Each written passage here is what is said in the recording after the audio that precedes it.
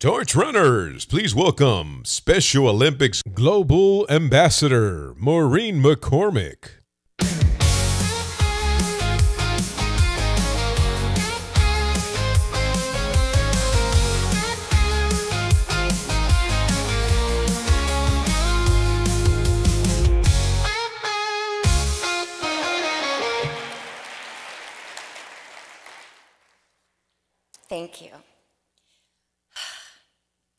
First of all, I just have to thank all of you for your service. Thank you. Thank you so much. Um, don't you love when you go somewhere and you meet people and you're talking about your why and what matters to you?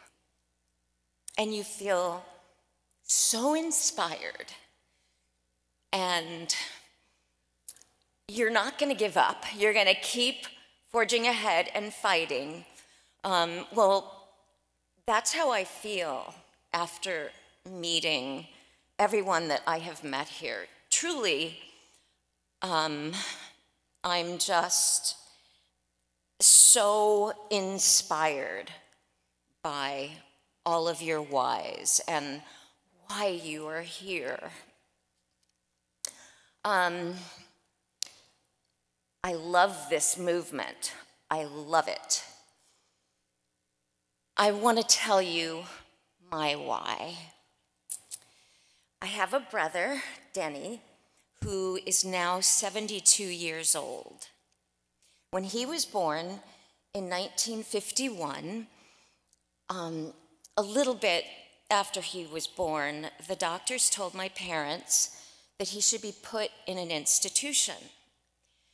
They said that he should be put away, um, not seen, that he probably wouldn't live very long, that he would never amount to anything, and that it would be too much of a burden for my mom and dad.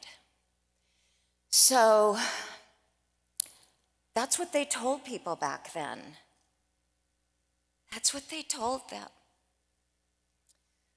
My mom and dad said no, and my father, who was a school teacher, decided to start teaching special education.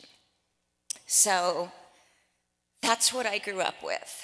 Um, it was really hard, though. I remember a lot of people staring at Denny all the time and wondering what was wrong with him and calling him names, bullying him. Denny would come home most days from school crying. But he never he never gave up. He just opened his heart to the world. He embraced everybody and loved everyone. It was, it was really wonderful to grow up in a home where, um, you know, my father like was kind of at the forefront of, of starting, you know, things in the school systems and whatnot, but he was passionate about it. He cared so much. And one of the greatest things my father ever told me, because I didn't really understand certain things, was he said, Maureen, Denny feels everything that you feel. And it was a light that went off in me and it changed me forever. And he truly is my hero, and so are all of you Special Olympics athletes. You are my heroes. Loretta Claiborne, I have to tell you, I had a real surprise tonight when I walked in here because I was looking for my name tag, trying to see where I was sitting at the table. And next to my name, I saw Loretta Claiborne, and I thought, oh, no way is she here. I'm such a fan of hers. She's just, I have so much respect for you, Loretta. You're such a fighter. You've inspired me so much. And I'm sitting next to you. um, yeah. Uh, so anyway, it was it was so hard to see what I saw growing up with, and then I remember when I was a teenager, I heard about Special Olympics. I had the great privilege to meet Eunice Shriver. Um, and, and I remember taking my brother, Denny, he would volunteer with me and cheer everybody on. He loves cheering on people. And I just, I felt like I was home.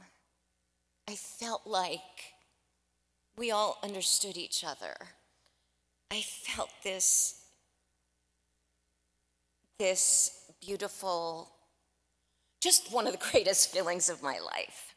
And um, I remember actually, I mean, we're here with the torch run, and I remember Muhammad Ali carrying a torch, and the torch just was so symbolic to me um, of hope.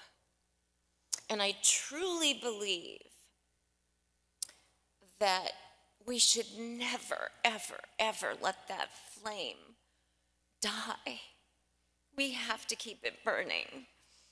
And all the Special Olympic athletes, Loretta, my brother, you are all a light in this world, and this world desperately, desperately needs your light to be a better, more beautiful, kind, inclusive world where we respect one another and help one another. So, um, I just have to say that I love the law enforcement torch run conference that I have been at. This is my first one, and I've never felt so protected in my life. Truly, actually, it's true. Um, Chief, it has been an honor to meet you and your wife who started this. Thank you from the bottom of my heart. What a beautiful, beautiful movement. You have raised over $1 billion that has changed lives worldwide, bringing awareness to these amazing Special Olympic athletes and their gifts to us all. So thank you, thank you. And, and you know, talking to you, I feel, I feel your passion. And I'm just thrilled that I've been able to be here and, and be a part of that. Your fundraising efforts are critical. I just want to thank you from the bottom of my heart for what you're doing. And let's pass it on, right? Let's pass it on.